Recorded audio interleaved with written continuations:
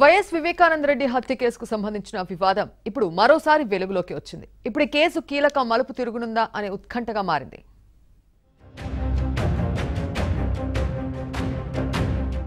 YS వివేక హత్య కేసులో ఏ ఫోర్గా driver Dastagiri అప్రూవర్గా మారి ఇచ్చిన వాంగ్మూలంలో హత్య వెనుక కొందరు పెద్దలు సూత్రధారులని చెప్పడం జరిగింది.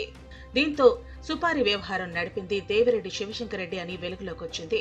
సిబిఐ అధికారులు వివేక కేసులో దేవిరెడ్డి శివశంకర్ రెడ్డిని ఏ ఫైవ్గా చేరుస్తూ చార్జ్షీట్ దాఖలు చేశారు. శంకర్రెడ్డి ఏడాదిగా కడప సెంట్రల్ జైల్లో రిమాండ్ ఖైదీగా ఉన్నాడు.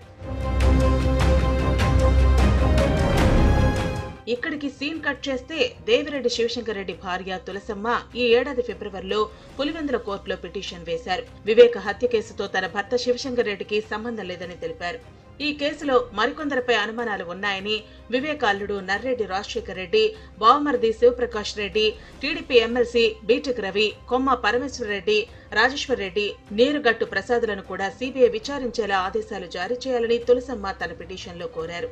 సిబిఐకి వెళ్ళిన తర్వాత వారు ఒక ముద్దాయిని అప్రూవర్గా మార్చి దాన్ని వేరే విధంగా మార్చినారు అన్నది ఆమె కంప్లైంట్. కేసును వేరే విధంగా చిత్రీకరించారు. కొంతమంది వ్యక్తుల వలన వారు ఇన్వెస్టిగేషన్ ప్రభా- ప్రభావితం చేశారు. అందుకని తప్పుదో పట్టించారు అన్నది కంప్లైంట్. వారి భర్తకు కేసులో ఏం సంబంధం లేదు. అసలు ఆ బాధ్యులను తప్పించే విధంగా ఇన్వెస్టిగేషన్ చేయడం జరిగింది అనేది వారి కంప్లైంట్. తొమ్మిది నెలల క్రితం వేసిన పిటిషన్పై పులివెందుల కోర్టు మేజిస్ట్రేట్ తులసమ్మ వాంగ్మూలాన్ని తీసుకున్నారు. దీనికి సంబంధించిన వివరాలను తులసమ్మ న్యాయవాది రవీందర్ రెడ్డి మీడియాకు వివరించారు. వివేక హత్య కేసుకు సంబంధించి వారి కుటుంబ సభ్యులు సీబీఐని తప్పుదోవ పట్టించారని తులసమ్మ చెప్పినట్లు తెలిపారు. విచారణలో పలు అంశాలను పరిగణలోకి తీసుకోలేదని ఈ కేసులో కీలకమైన మరో ఆరుగురిని కూడా సిబిఐ విచారించాలని తులసమ్మ కోరినట్లు న్యాయవాది తెలిపారు.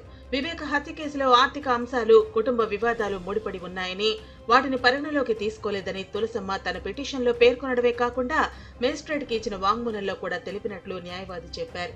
సిట్ విచారణలో సేకరించిన కాల్ డేటాను కూడా సీబీఐ పరిగణలోకి తీసుకోలేదని అన్ని అంశాలను పరిగణలోకి తీసుకుని సిబిఐ విచారించేలా ఆదేశించారని పులివెందుల కోర్టు మేజిస్ట్రేట్ను తులసమ్మ కోరినట్లు ఆమె తరపు న్యాయవాది తెలిపారు. కోర్టు ఈ కేసు విచారణను డిసెంబర్ ఇరవై నాలుగు వాయిదా వేసింది. ఇప్పుడు తులసమ్మ పిటిషన్తో కోర్టు ఎలాంటి తీర్పు ఇవ్వనుందో అని కడప జిల్లా ప్రజలు ఉత్కంఠగా ఎదురుచూస్తున్నారు.